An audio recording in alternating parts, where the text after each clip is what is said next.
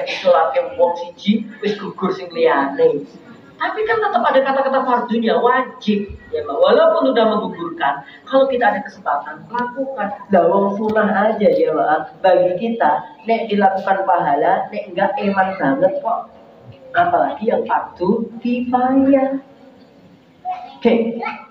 Jadi ayo kalau ada niat-niat yang kurang baik, segera dihijrahkan ya namanya niat hijrah wa ma umiru illa liya'budullaha mukhlishina lahuddin مخلصين له الدين حنفاء ويقيموا الصلاة ويؤتوا الزكاة وذلك دين القيمة maka niat itu harus dilakukan terus menerus. Soal nanti terjadi perbedaan pendapat, ya talakut biniat apakah dilakukan atau tidak, dan nggak usah terlalu ribut di situ coba.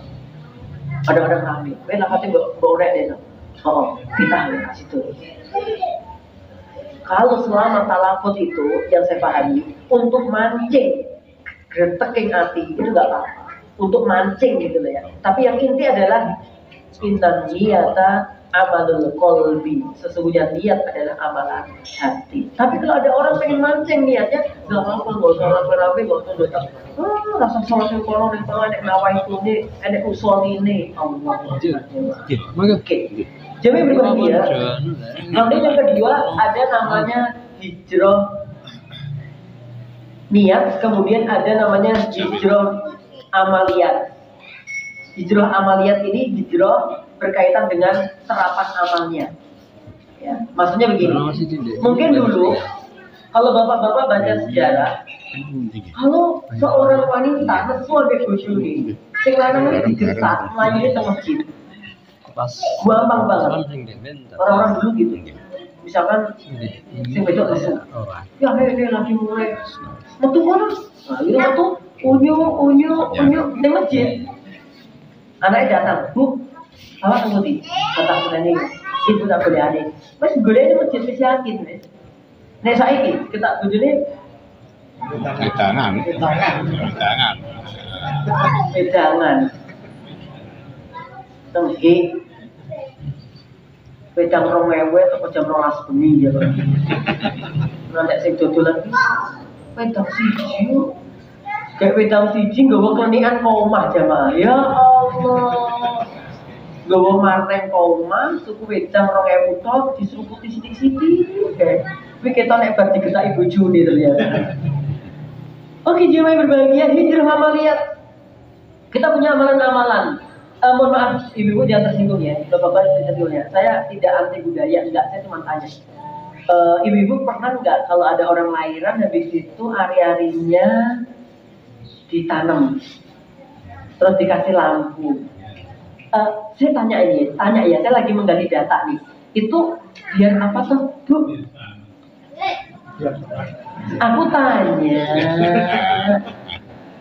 untuk referensi keilmuan gitu loh. Hah? Setan? Oh, ini betul. Ingat nggak ibu paham nggak?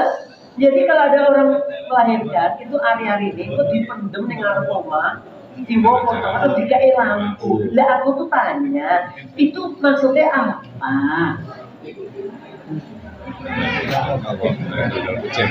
Ben nggak diambil kuntilanak. Oh, oke. Okay. Satu, ini data ya.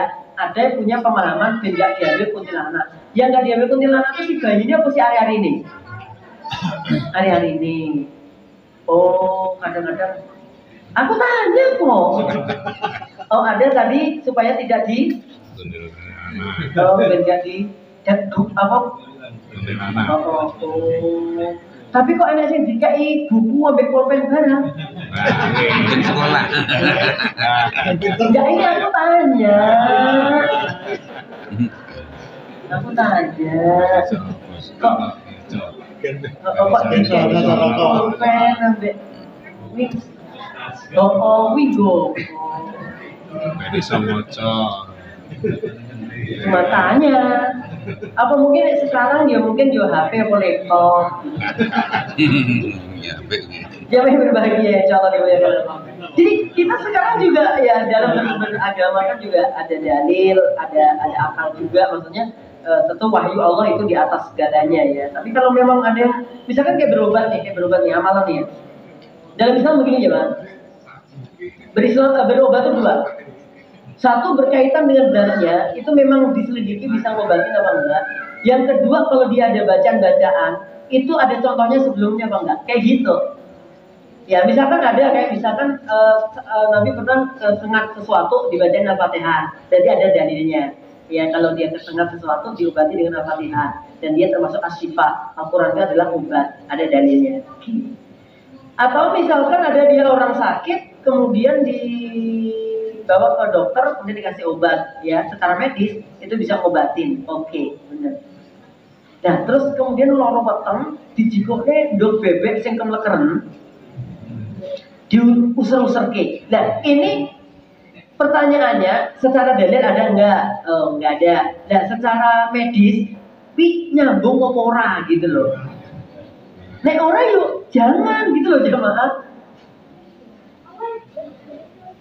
Ini namanya jeruk amaliyat. Sehingga amal-amal kita itu benar pondasi-pondasinya gitu.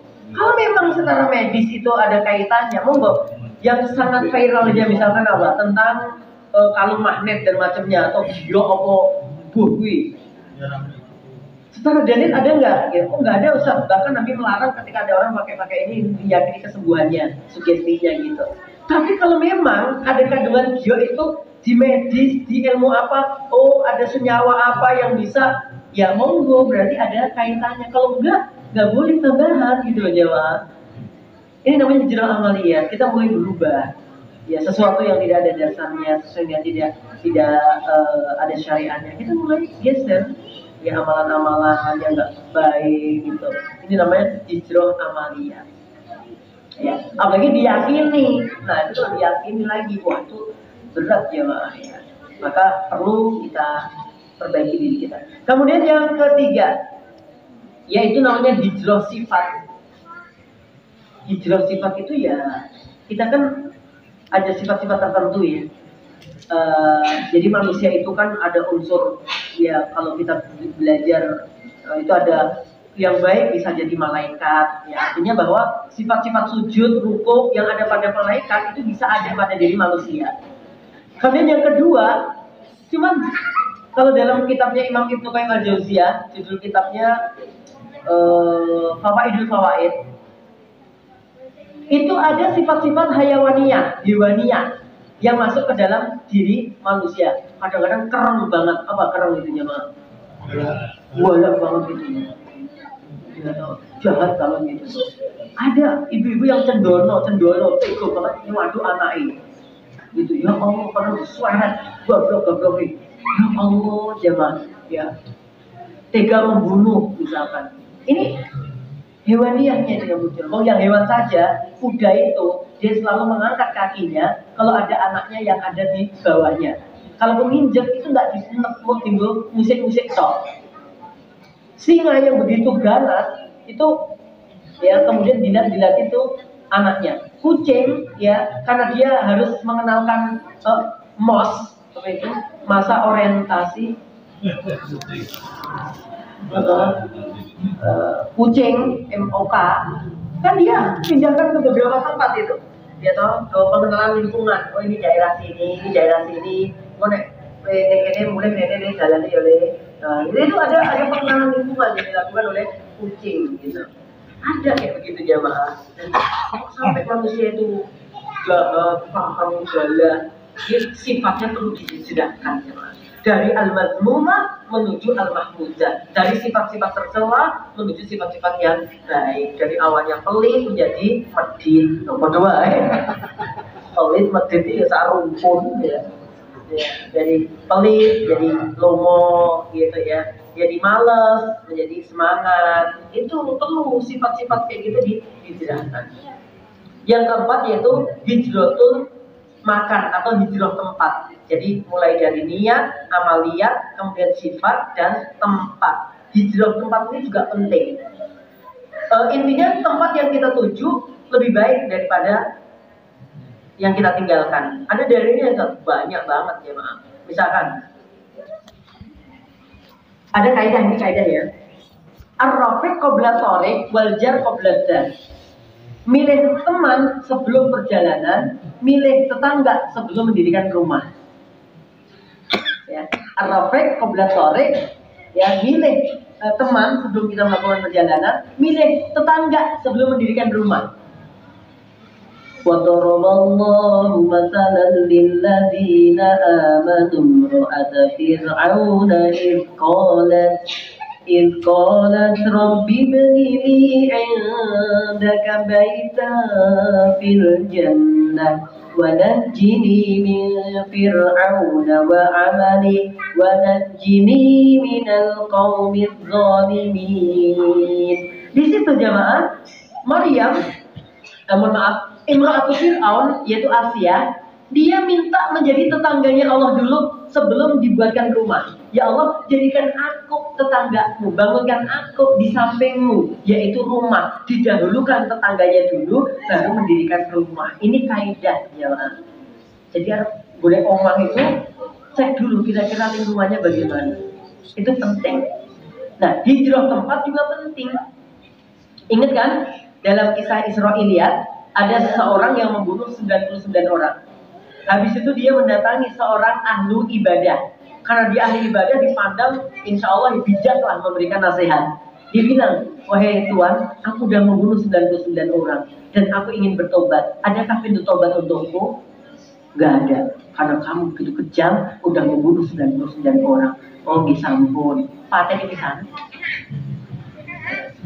Setelah dia bunuh dia galau karena memang nalurinya dia pengen tobat. Akhirnya diarahkan kepada ahlul ilmi.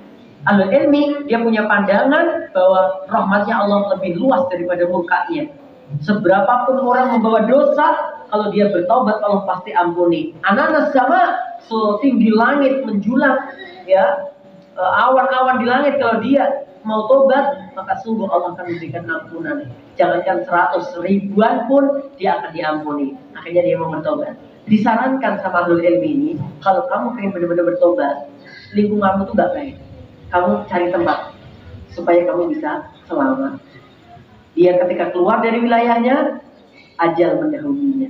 Dia meninggal dunia baru keluar dari daerahnya. Datang malaikat rahmat ngajak dia ke surga. Datang malaikat adab menarik dia ke neraka. Dan yoyo-yoyoan sukun rokok rokok. Akhirnya Allah turunkan satu malaikat lagi untuk menjadi hakim di antara keduanya akhirnya disuruh mengukur kalau jaraknya dekat ke tempat yang dituju malaikat rahmat berhak kalau masih dekat dengan tempat yang dia tinggalkan berarti dia bersama malaikat Adam. Setelah diukur, Allah pendekkan jarak antara dia menjadi lebih dekat dengan yang ke tempat yang dituju. Masya Allah. Jamaah yang berbahagia yang insya Allah dimuliakan oleh Allah Taala. Ayo, momentum ini kita jadikan sebagai hal uh, momentum yang baik untuk hijrah. Sing biasanya gibah, gibah, gibah, gibah, ini gibah berubah. Hijrah. Yuk, ayo gibah yuk. Enggak aku ke hijrah kok. Gitu. Ada uh, penelitian wanita itu sehari mengeluarkan berapa kata bu? 5000 sampai 7000 kata. Gitu ya. Kalau laki-laki ya 2000 sampai 3000 ada mengatakan ada sampai 20 ribu ibu-ibu itu. Ini orang ngomong tuh katanya kukulan kafe ya. Jadi memang kudu metu pak. Maka bapak-bapak nek ibu-ibu lagi pengen nyanyi ini yo rapopo Nah, yang unik lagi teman saya itu masya Allah pas kita diskusi tentang uh, teori itu bukan teori ya penemuan itu kemudian teman saya bilang gini oh iya tadi berarti mau itu eh, memang kudu ngomongnya kayak gitu oh oh apa orang apa orang gue mau Quran dua oh ya? Berapa ribu ribu kata boleh mau Quran dua ya beda. Ya Allah, jamaah berbahagia yang insya Allah dimuliakan oleh Allah Taala. Dan mari di peringatan ini atau menapakilasi sejarah ini kita berupaya tahun 1445 Hijriah ini jauh lebih baik daripada tahun-tahun kemarin.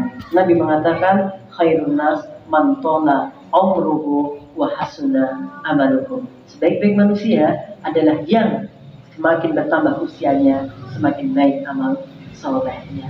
Saya rasa demikian. Mari kita berdoa pada Allah Taala. أعوذ بالله من الشيطان الرجيم بسم الله الرحمن الرحيم إن الله وملائكته يصلون على النبي يا أيها الذين آمنوا صلوا عليه صلوا عليه وسلموا تسليما. اللهم اغفر لنا ذنوبنا وكفر عنا سيئاتنا وتوفنا مع الأبرار. اللهم اغفر لنا ولوالدينا وارحمهم كما ربونا صغارا ربنا اغفر لنا ولإخواننا الذين سبقونا بالإيمان ولا تجعل في قلوبنا غلا للذين آمنوا ربنا إنك رؤوف رحيم اللهم إنا نسألك الجنة اللهم إنا نسألك رضاك والجنة ونعوذ بك من سخطك والنار. اللهم ارزقنا بحسن الخاتمة وأدخلنا في الجنة. اللهم أعذنا من عذاب يوم القيامة. اللهم اجعلنا من التوابين واجعلنا من المتطهرين. ربنا هب لنا من الصالحين. ربنا هب لنا من أزواجنا وذرياتنا قرة أعين واجعلنا للمتقين إماما. لا إله إلا أنت. سبحانك إنا كنا من الظالمين. يا حي يا قيوم برحمتك نستغيث أصلح لنا شأننا كله ولا تكلنا إلى أنفسنا طرفة عين يا أكرم الأكرمين يا أرحم الراحمين يا مجيب السائلين أجب دعاءنا يا رب العالمين ربنا آتنا في الدنيا حسنة وفي الآخرة حسنة وقنا عذاب النار وصلى الله على نبينا محمد وعلى آله وأصحابه وسلم والحمد لله رب العالمين. السلام عليكم ورحمة الله وبركاته